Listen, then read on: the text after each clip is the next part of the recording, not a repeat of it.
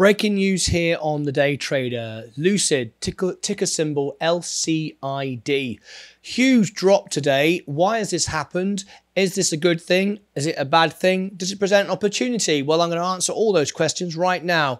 It's a great company. It produces a great car, but it is struggling to ramp up. It has plenty of money. It's not going to go bankrupt. I've got no issue with investing in this company at all, but it is struggling right now to ramp up. So it's been downgraded.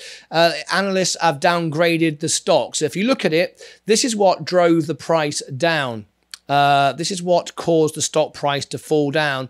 Analyst, analyst forecast just became more bearish on Lucid Group. And this is what's caused the sell off today. So I bought some more uh, and I'll explain what I've done in a few moments. But uh, this is um, Lucid. Market forces rained on the parade of the Lucid today um, when the analysts downgraded their forecast for this year.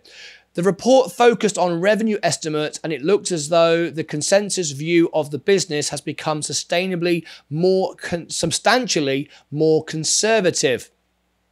Following the downgrade, the most recent consensus for Lucid Group from its uh, six analysts uh, for revenues of US uh, $740 million in 2022, which, if met, would be a sizable 308% increase on its sales over the past 12 months. So they've downgraded the forecast, but it would still be 300% increase, which would be great. Okay. Prior to the last estimates, the analysis were forecasting revenue of 945 million.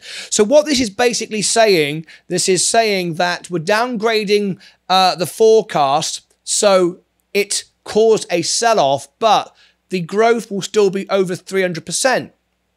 So as far as I'm concerned, this is the stock market stock market doing what the stock the stock market does best: overreacts and oversells. The company produced a great car. I love the car. I love the business. They got plenty of money on hand. The com- the company isn't going anywhere. There's the rumors of Apple being involved. Uh, so there's all all that potential potential rumors in the future. So for me, today was a good opportunity, and I'll share with you my actual position. If I go over to my position right now. Here's Lucid.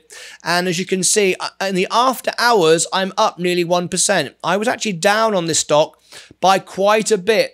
Uh, by about 14%, I think it was. So I doubled up when it went down, and I've now uh, taken a 14% loss to a total return of just down $1, 0.09. In fact, now 60 cents. I have 40 shares. I think that's all I need it's a good balance in my portfolio. I've got a lot more invested in Tesla. I think it's a great company to hold. So this is exactly what the stock market does best. It overreacts, people get fearful and they sell out. I think this was a gift for the stock. What do you think? Let me know in the comments below. Do you think that this is going to be good for the stock? Do you think it's going to promote the stock? I certainly think it's a buy at this price. Uh, it's a great company. It's it's it holds. If I scroll down and show you, it holds uh, 0.92% of my portfolio. So it's not too big, but at this price, it can only go up. Lucid, take care of yourselves and each other.